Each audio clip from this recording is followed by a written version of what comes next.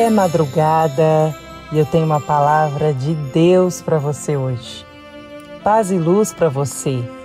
Que o nosso Deus te abençoe rica e abundantemente em nome de Jesus. Hoje é domingo, dia de estarmos no santuário de Deus, para recebermos a santa ceia do Senhor Jesus na nossa vida, que tem poder em nós e garante-nos a vitória de uma vida nova.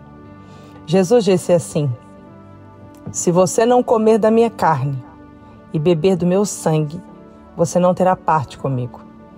Ou seja, para ser igreja, precisa cear, precisa estar assentado à mesa do Cordeiro de Deus. Para ser do corpo de Cristo, aquele pedaço do pão que representa uma parte do corpo de Cristo, precisa estar conectado a você. Um corpo só é corpo quando todos os membros estão ligados e irrigados pelo mesmo sangue. Da mesma forma, nós, como igreja, só somos igreja se estivermos na igreja. Só somos corpo de Cristo se estivermos ligados ao corpo e com o sangue de Jesus irrigando o nosso corpo, cada membro desse corpo da igreja. Uma mão fora do corpo não é um corpo, é apenas uma mão decepada, né? Uma mão no corpo, ligada ao corpo, sendo irrigada pelo sangue daquele corpo, faz parte do corpo. É muito importante a gente entender isso. O apóstolo Paulo falou assim: como é que vocês vão entender de coisas espirituais que você não enxerga com olhos humanos? Se as coisas naturais vocês não buscam entender. Para entender as coisas espirituais, você precisa entender o básico das coisas naturais. Tô te contando sobre esse óbvio para você, para mim, para todos nós, é, que se refere a um membro do corpo fora do corpo, para você entender que você fora do santuário, você sem receber a Santa Ceia todos os domingos, não é igreja. Só é igreja quem está ligado ao corpo. Só é igreja quem é fiel ao seu Senhor. É muito importante entender isso. João 3,16 diz assim: Deus amou o mundo inteiro de tal maneira que entregou o seu filho unigênito. Unigênito significa o único da espécie. Só Jesus era filho de Deus.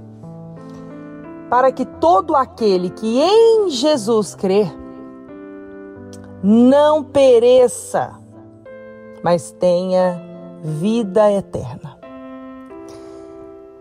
Deus amou o mundo todo.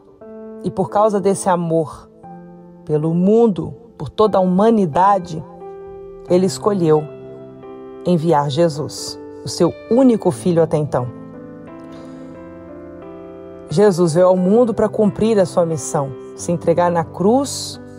Para quê? Para que todo aquele que nele crê, para que todo aquele que verdadeiramente se tornar um cristão, negar a si mesmo, tomar a sua cruz e seguir a Cristo, então não pereça mais, não sofra mais. Pelo contrário, tenha vida eterna. Desfrute de uma vida que não tem fim, que começa aqui na terra e se perpetua para sempre no céu. É muito importante quando a gente entende essas coisas, porque a gente começa a, a ver o sentido da nossa vida. A palavra pecado significa errar o alvo. E o alvo da nossa vida é Cristo. A gente só consegue ser filho do Deus vivo seguindo a Cristo, porque nós somos herdeiros de Deus, co-herdeiros em Cristo. Ninguém vai a Deus Pai senão por meio de Jesus Cristo, que é chamado o caminho, a verdade e a vida. Então, são verdades incontestáveis da palavra de Deus que, quando praticadas na nossa fé, na nossa rotina espiritual, geram frutos de vida e de paz. Tá entendendo? Domingo no santuário, para receber a santa ceia, receber a força da vida de Deus em mim, em você, é inegociável. E nós estamos num período assim que se faz ainda mais necessário, se é que existe algum período que não é necessário, porque nós não somos merecedores da Santa Ceia. Nenhum de nós. Todos pecamos e destituídos fomos da glória de Deus. Está escrito assim na palavra de Deus. Todos nós somos pecadores. Santo é só Jesus. Então a Santa Ceia não é para os merecedores, porque só Jesus merece. Mas ninguém. A Santa Ceia é para os necessitados e que têm humildade de reconhecer a necessidade que tem de Jesus na vida. Então, a Santa Ceia, ela é a pulsão da vida de Deus em nós. É a força que nos sustenta de pé na vida. E nós estamos nesse período que sempre é necessário a Santa Ceia, mas agora, especialmente, mais ainda, por causa do período da Quaresma, é um período de muitos ataques espirituais. Por causa do jejum que nós estamos fazendo rumo à Sexta-feira da Paixão, que é um jejum de batalha espiritual muito forte.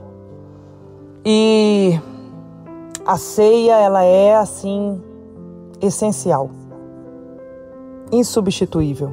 Ela é santa, ela é vida, ela é força, ela é graça, ela é poder na nossa vida. Então, hoje, muitos irmãos que estão na fé da Sexta-feira da Paixão vão para o santuário e já vão cumprir o seu propósito. Para não vacilar, para não deixar com que o inimigo tenha a oportunidade de tentar você, fazendo você perder seu foco, fazendo você gastar seu voto e depois você ficar numa situação apertada, sem saber o que fazer para conseguir chegar ao Monte Manaim na sexta-feira da Paixão. Vigie, vigie antecipe o inimigo. É muito importante, sabe? Essa firmeza da nossa fé, esse foco no que nós devemos fazer em cada tempo que Deus abre um portal de poder dos céus na nossa vida. Sexta-feira é o dia dos grandes milagres de Deus no Monte Manaim, especialmente o dia do milagre, o dia da cura. Porque é o dia, o único dia no ano que nosso Senhor Jesus Cristo morreu na cruz do Calvário em nosso lugar é a sexta-feira da paixão de Cristo. E esse poder você pode tocar e possuir para sua vida no Monte Manaim. É muito forte. É madrugada e nós vamos orar nesse momento. Feche seus olhos, vamos falar com Deus.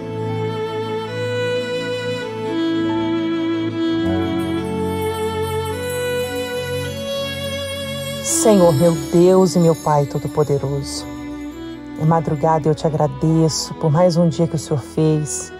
Hoje é domingo, dia santo, dia de estarmos no santuário recebendo a santa ceia do Senhor Jesus, que tem poder na nossa vida e nos garante a vitória de uma nova vida. Obrigada, meu Pai, pelo reino dos céus, pela salvação. Obrigada, meu Pai, porque o Senhor cuida de nós. Eu oro e abençoo esta pessoa que comigo ora nesta madrugada e te busca de todo o coração. Ó Deus, profetizo um domingo de felicidade, de força, de paz, de vitória na vida dela, dentro do santuário, neste dia, neste domingo maravilhoso. E tomo posse, meu Deus, de mais uma semana que começa hoje regada das tuas bênçãos, do teu favor. Consagro a ti mais um dia do nosso jejum e te agradeço, meu Deus, porque é grande a nossa expectativa da Sexta-feira da Paixão no Monte Manaim E eu sei que grandes coisas o Senhor fará na vida do teu povo naquele santo lugar. Em nome de Jesus, amém e graças a Deus. Muito bom dia para você, meu amado irmão, minha amada irmã. Deus abençoe imensamente você e toda a sua família também. Um feliz domingo para você. Paz e luz para você. Deus, olha para minha fé aqui no Monte Manaim. Vim buscar o meu milagre. Tem dado tudo errado até aqui. Já não posso mais resistir. Tanta dor e sofrimento. Por isso, Pai, vim buscar de